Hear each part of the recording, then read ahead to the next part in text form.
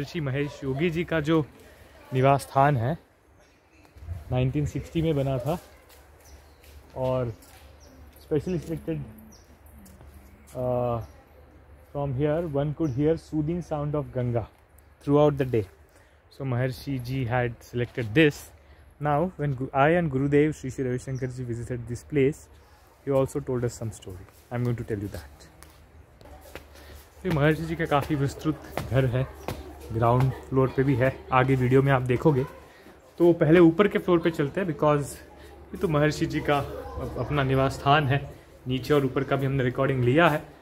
ऊपर का स्टोरी मैं आपको बताता हूँ क्या हुआ था। तो वी केम फ्रॉम हियर और गुरुदेव के साथ हम ऊपर गए। ओके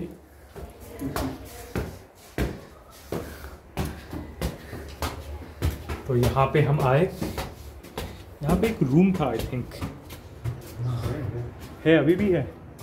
हाँ ये एक छोटा सा रूम जैसा है, देखो। और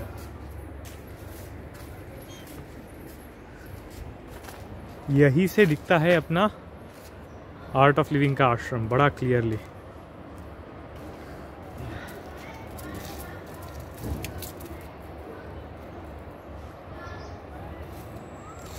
ओके सो सो नीचे महर्षि जी का घर है और यहाँ ऊपर Gurudev use to stay exact opposite इसके अपने आर्ट ऑफ़ लिविंग का आश्रम है। हम्म?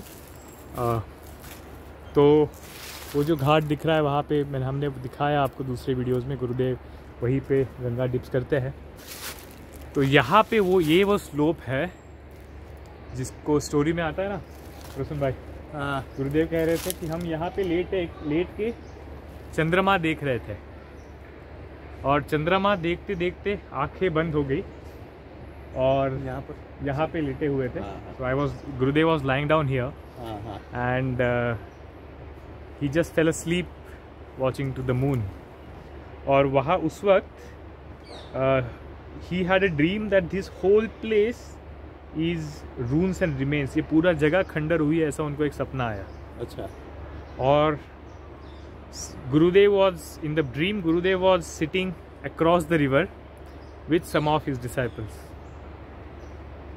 older version of Gurudev so सपने में दिखा कि हाँ, गुरुदेव हाँ। उस तिर तर पे बैठ बैठे हैं। हाँ, गंगा के उस घाट वो साइड बैठे हैं और अपने कुछ भक्तों के साथ और ये पूरी जगह खंडर हो गई है।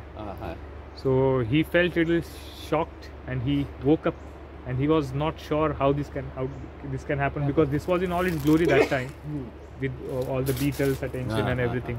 तो गुरुदेव को बड़ा ये आश्चर्य लगा एकदम नींद खुल गई कि ऐसे कैसे हो सकता है हाँ इतना ये महर्षि जी का आश्रम इतना सुंदर है इतना बीटल्स वगैरह इतनी ग्लोरी है उस वक्त। Flourishing ashram at that time Maharshi was the only yogi who took the yoga and meditation internationally in the west that time and meditation was not so much seek for तो रात को हम बैठे थे ये गंगा के वो तरफ़ तो ये तरफ़ गंगा के और गंगा वो तरफ़ अपना आश्रम है तो वहाँ पे हम बैठे थे एंड गुरुदेव जो मीटिंग रूम हमने दूसरी वीडियो में दिखाई है उसमें हाँ, हाँ। हम बैठे थे और गुरुदेव ने कहा कि देखो एग्जैक्टली ऐसा मुझे दिख रहा था तो कई बार गुरुदेव हाँ। यहाँ बैठते हैं अब टेरेस पे दीवार को लग के इस तरफ़ मुँह करके और देखते रहते हैं अपनी यादें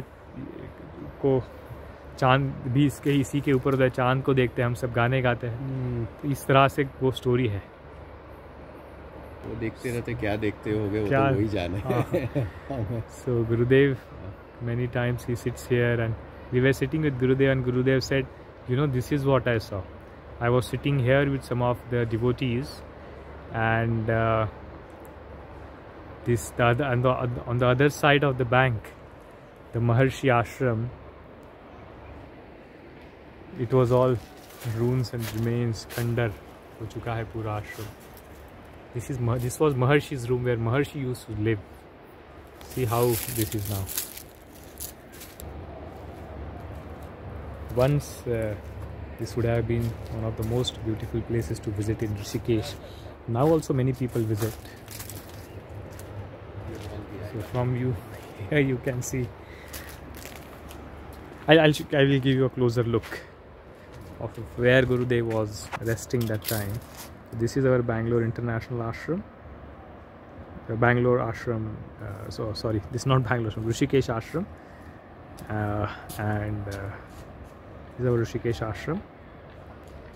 Here, across the Ganga, this is where Gurudev was resting, and he saw the moon. He, he dreamt that this whole place is all ruins, and uh, Gurudev was sitting across the bank with some of the disciples. You can see this is actually true. It is said that the gr- group cannot make a guru, a guru makes group. So, all this beauty is still there, but the glory is gone. When Maharshi was there, Enlightened Master was there, it was getting what it is worth attention. And so, these walls